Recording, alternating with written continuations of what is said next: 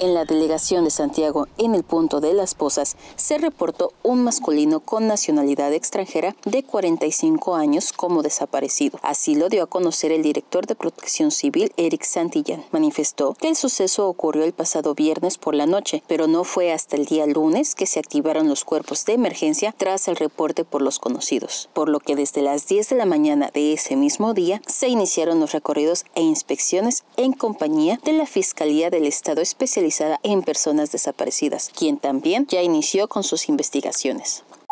Eh, empezamos a los recorridos a las 5.30 de la mañana, en el cual, pues bueno, ya ahorita son, tenemos una, una fuerza increíblemente grande gracias al apoyo de, la policía, este, de, la Guardia Nacional, de lo que viene siendo la policía municipal, policía estatal, eh, Sedena, CEMAR, el Cuerpo de Bomberos de San José del Cabo y personal de protección civil, así también como de la Fiscalía.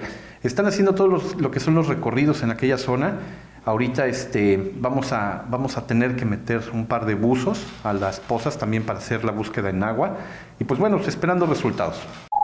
Hasta el momento, reiteró, se desconoce los pormenores del suceso solo sabiendo que estaban de visita en la zona. Declaró el director que se comunicó vía telefónica con uno de los familiares quien actualmente se encuentra en Mendoza, Argentina, y quien agradeció la comunicación por parte de las autoridades, pues hasta el momento nadie lo había hecho, explicándosele que los procedimientos de alerta no fueron los correctos ni en tiempo. Y pues bueno, pues estamos ahorita trabajando, haciendo la búsqueda, localización, extracción y rescate de, de la persona en caso de...